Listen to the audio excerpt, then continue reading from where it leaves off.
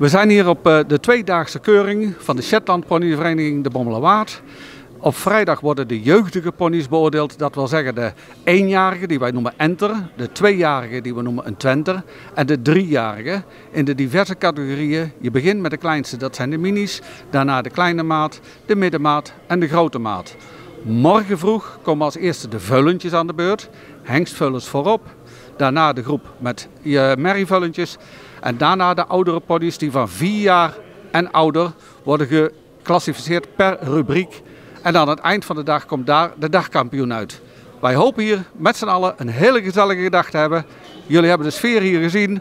Wij zouden zeggen, als jullie een kans hebben, morgen hartelijk welkom. Het Laar 6, de manege in Velddriel.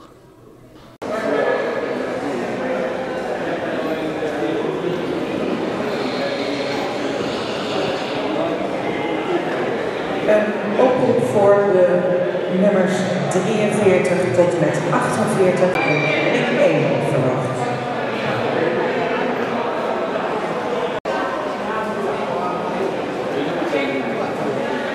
We zijn hier bij de Shetland Ponyvolkvereniging de Bommelerwaard en hier staan we bij de twee keurmeesters. Misschien dat jullie jezelf even voor willen stellen. Mijn naam is Riekje Wolters. en ik- Mijn naam is Albert van As.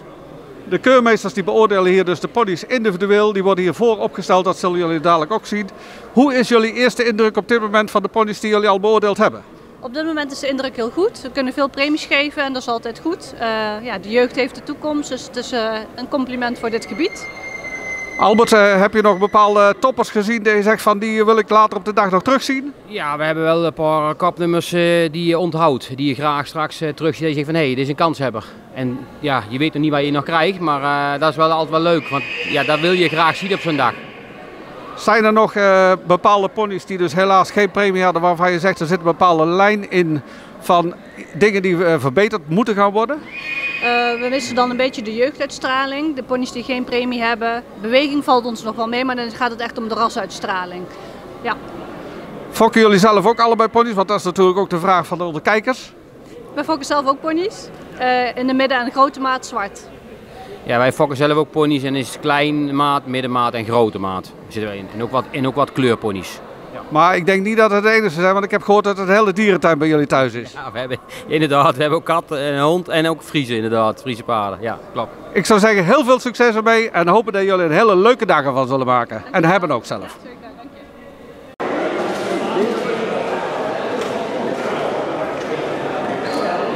Een beetje op de achtergrond. De eerste pony die komt hier binnen van een nieuwe groep. En de keurmeester die gaat deze pony beoordelen op zijn exterieur en zijn stand, hoe dat die staat. Het type is wel goed. Ietsje royaal in zijn, eh, in zijn vlees eigenlijk, hè? in zijn uitstraling. Bouw is goed, had iets meer front mogen hebben. Bovenlijn lijkt goed. Kroep voldoende van lengte. Het beenwerk is goed. Het graf beenwerk. De beenstanden lijken ook goed. En dan mag hij zo eh, mag hij zo gaan stappen. Mag stappen. Nu moeten ze eerst van de keurmeester afstappen en daarna naar de keurmeesters toe stappen. Actief en correct van achter willen we graag zien. Waar ruimte tussen de achterbenen, dat doet hij. Je ziet mooi nakijken eigenlijk deze pony op zich, dat is positief. Want je wil wat schof zien. En de ruimte is ook goed. Voor is hij voldoende correct, ietsjes rommelig, maar dat mag. En dan gaan we zo de draf beoordelen.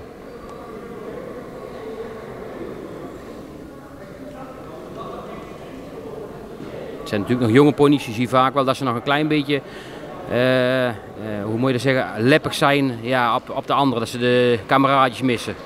Kijk, in draf, in draf is hij voldoende ruim, actief. Hij beurt zijn achterbeen voldoende snel op. Want hij moet eigenlijk geen slepend achterbeen hebben. En hij beurt hem op en hij zet hem weg.